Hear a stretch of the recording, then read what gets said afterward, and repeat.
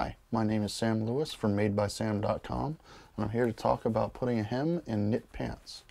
The only difference between knit pants and any regular dress pants is the fabric itself, which is stretchy and it also is much thicker than the normal dress pants. So in a perfect world, what you would love to be able to do is to be able to put an edge on it with a serger. Failing that, what you need to do is take your pants, before you put the hem in them, you're going to want to put them in your machine and run a zigzag stitch to stabilize the material around the edge.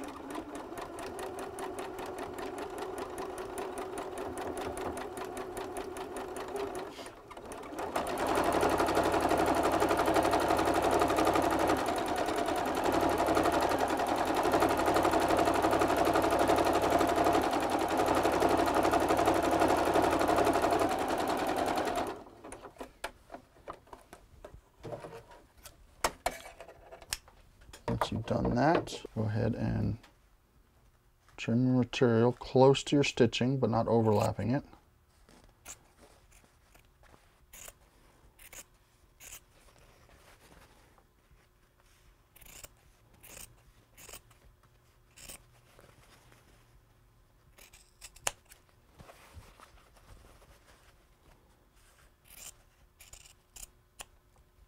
Once the edge of your fabric is prepared, turn it over to the inside like you would a normal hem. And in this case, we haven't pre-marked it, but pull it to the line that you marked for your hem length. And then you're going to want to pin it all the way around. We'll do it once to give you the idea. Ahead, pin all the way around.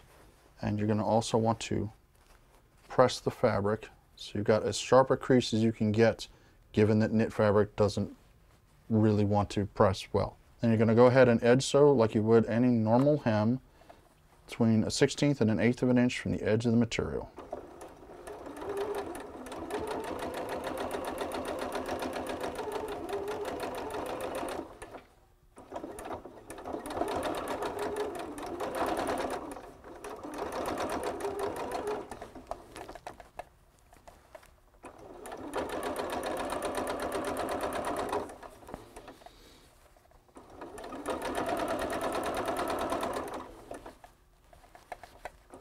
You want to be very careful when you're sewing with knit materials to keep your tension between the top and the bottom piece of fabric even.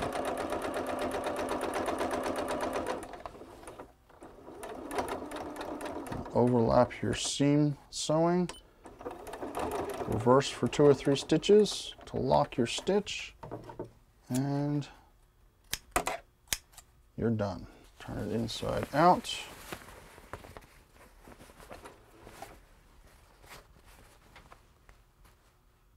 And you have your hem.